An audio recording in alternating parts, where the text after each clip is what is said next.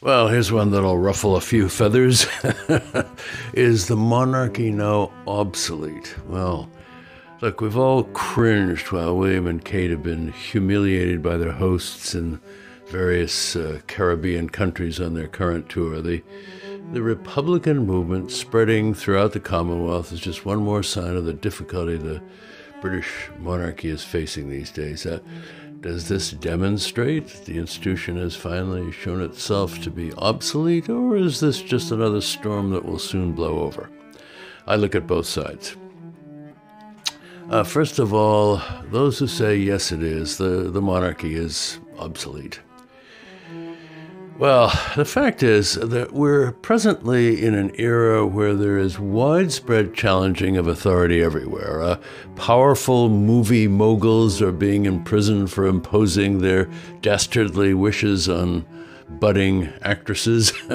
Pedophile rings are being exposed and members brought to book in the courts. Uh, police officers are being prosecuted and, and occasionally jailed for racial crimes. Um, statues of men connected to the slave trade are being removed or destroyed. Priests are going to jail for raping young men. And uh, seemingly untouchable Russian billionaires are being hounded out of Britain.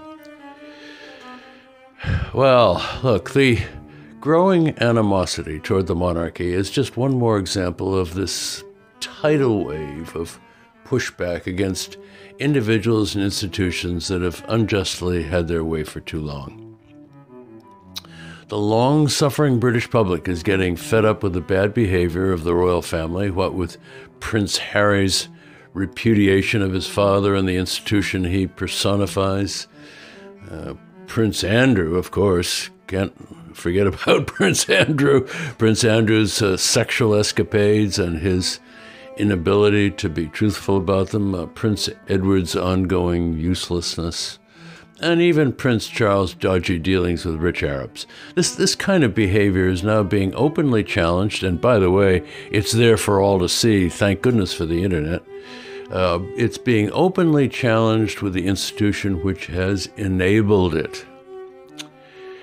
And oh dear, much of the family royal family's wealth has come from its participation in the slave trade years ago. Queen Elizabeth I provided uh, a slaver, a famous slaver, John Hawkins, with one of her own ships, quote, specifically for the purpose of capturing Africans on the West African coast, end quote. That's according to a document in the, uh, uh, the National Archives here in the UK. Uh, later royals were also major players in the slave trade. All this is now an ugly stain in their history, and their, their present wealth is built on it. Apology uh, would be appropriate, but this has never been forthcoming. Of course, the government would have forbidden that on the current royal tour, lest the door be open to claims for reparations. Oh dear. Well, also, they live in unimaginable luxury at a, at a time when the nation is in serious uh, financial straits, a situation of which they seem blissfully unaware. Um, their very existence uh, enshrines the notion that I am better, I am superior to you because of who my parents were.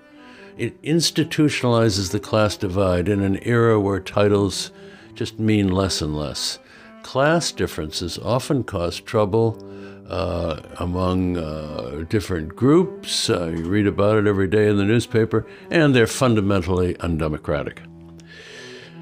The fact is that the monarchy has no discernible role in the governance of the nation and is a failed exemplar of right and uh, proper behavior. It is thus a pointless entity.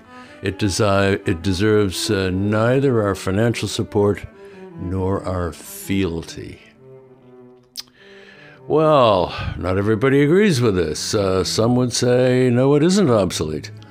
Uh, they would say things like the following uh, the, the monarchy now is no more obsolete than it was at the time of its restoration in 1660, when it was largely stripped of any real governing power. It, it performs the same wonderful role of sim- symbolically representing a great nation as it always has. Uh, Britain wouldn't be Britain without them. They work hard supporting the work of uh, worthy institutions and organizations throughout the British Isles and in other parts of the world with uh, friendly connections to Britain. Uh, they're out there almost every day. Can't fault them for that. Uh, and the monarchy represents continuity in government and is there to ensure orderly transition of power in government, especially at a time of great social and political upheaval. Uh, they are just essential for the uh, kingdom to continue uh, with a smooth political process. It does the job expected of it. Well, uh, what's my take after uh, considering all of the arguments above? The royal family, embodying the monarchy, they've had a good run. Uh, it's astounding that they have kept this position for this long solely by virtue of birthright. They have managed to keep the money, which must be their overriding goal, and have even managed to escape any form of serious punishment over the years since the execution of Charles I. But since they clearly provide little value for quite a large cost, it's time for them to go.